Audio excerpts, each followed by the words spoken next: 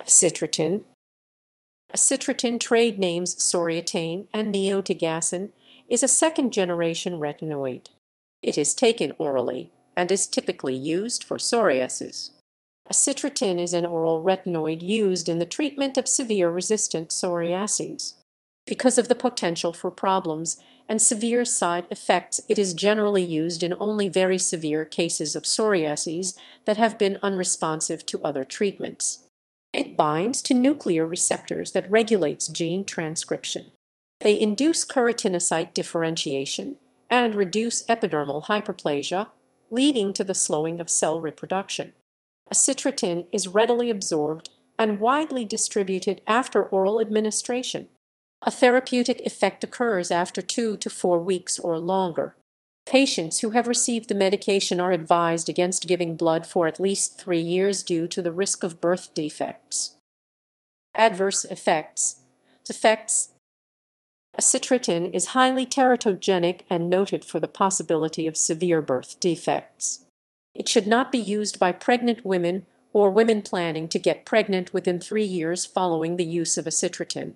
Sexually active women of childbearing age who use acitretin should also use at least two forms of birth control concurrently.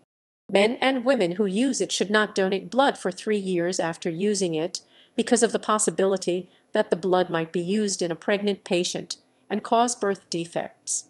In addition, it may cause nausea, headache, itching, dry, red or flaky skin, dry or red eyes, dry or chapped lips, swollen lips, dry mouth thirst, cystic acne or hair loss.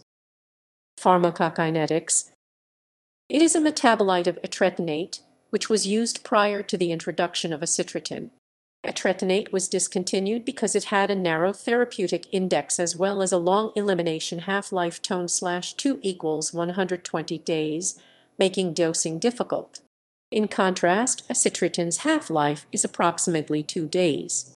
However, because acitretin can be reverse metabolized into etretinate, which has an extremely long half-life, women must avoid becoming pregnant for at least three years after discontinuing acitretin.